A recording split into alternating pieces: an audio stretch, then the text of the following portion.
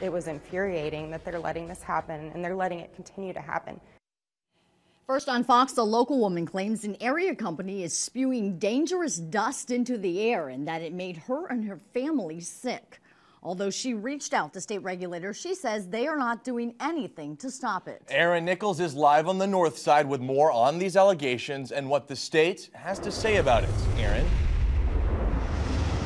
We're here at the Vulcan Materials plant off 1604 and O'Connor Road, which makes ready mixed concrete. As you can see, there is dust everywhere around us. The question is whether or not it's toxic. Krystal Henagan used to live across the highway from the Vulcan Materials Ready Mix plant off 1604. She says once she and her family moved there, they started feeling sick. Fever, just remittent fever, it would not go away. Um, chills, flu-like symptoms, cough. Uh, I started losing my balance. She says her neighbors were sick too. I just knew that that wasn't right. Henagan discovered a thick layer of dust kept making its way into her home. She contacted Vulcan and the Texas Commission on Environmental Quality to take samples. With Vulcan's tape lift samples that they took, they did find silica and manganese in the household dust profile, which was found inside of my home, and that's unlike a typical household dust profile.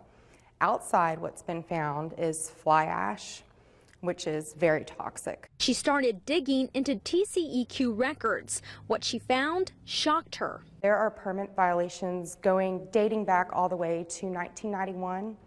I think cumulatively, the ones that have been going on underneath TCEQ's nose, it's like a, almost 160 years. If you were to stack these violations back to back, that's 160 years worth of violations. We contacted the TCEQ.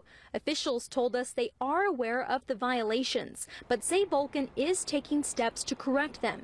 Henagan says she doesn't know for sure if the dust was making her family sick because TCEQ never tested for the levels of pollutants in the dust. She believes more testing should be done.